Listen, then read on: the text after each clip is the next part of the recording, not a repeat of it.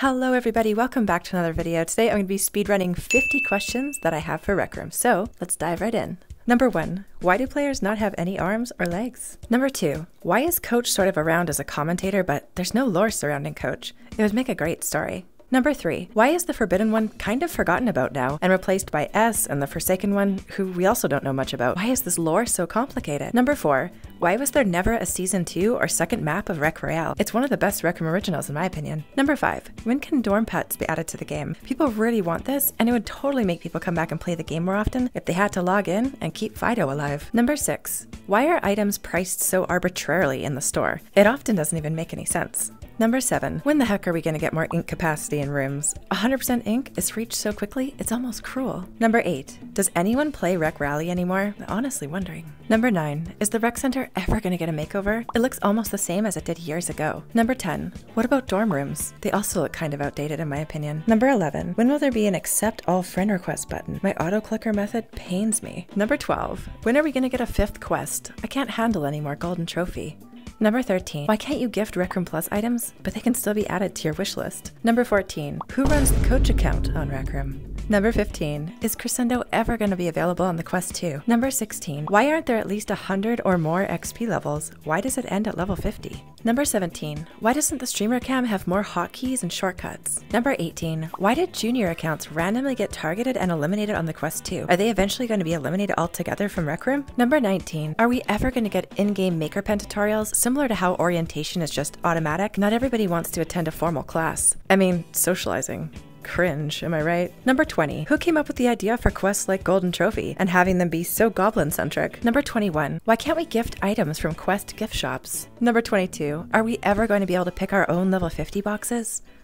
Number 23. When are they going to add age matchmaking in the game? I think adults want to be able to find other adults to hang out with. Number 24. Is there any hope for a health bar in Jumbotron in the future? Or for friendly fire to be turned off in that quest? Number 25. Can players get a gift box on their birthday in the future?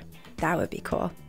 Number 26. Are leaderboards ever going to be revamped? They look outdated. Number 27. Why are friend requests and event invites all lumped together on RecNet? This one makes my life a lot more difficult. Number 28. Why can't we gift inventions and dorm skins to other players? Number 29. How come XP doesn't count in private lobbies? Number 30. Is there a reason there's no streamer cam on the Quest 2 standalone? Here are some more questions from the Rec Room community themselves. Number 31. Spirit asks, who is S and where did they originally come from? Number 32. Smile VR says, when will there be new maps for paintball or showdown or just new games entirely? Number 33. From Chim, have you ever looked back on a decision you've made and thought it was a mistake? Number 34. Skinnier Snail asks, why do you try to cover up re-releasing old items with lore so you can get more money? Ouch.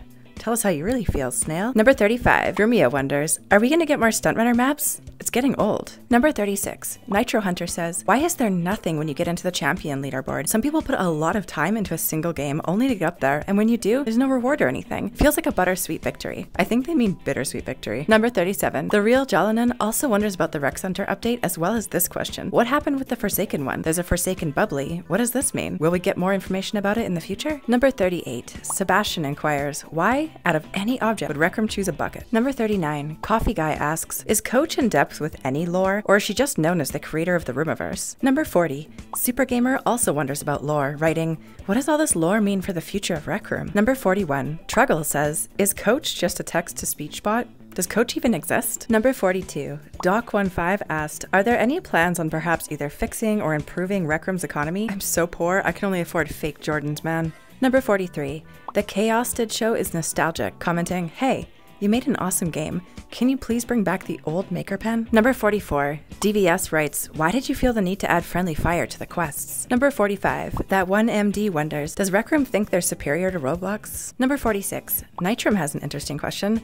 How did you think of the name Rec Room? Number 47. Jeb inquires, What cancelled idea for the game are you still very passionate about and think would do great if added? Number 48. CB Gaming asked, My question is, will there ever be an option of spawning bosses with the spawner gadget? Number 49. Mr. Pickle Studios wants to know about the future, writing, Do you plan on adding full body tracking for full body costumes? And going off that question, will you ever add more advanced custom avatars like the ones in VR chat? Number 50. Easy has a simple question.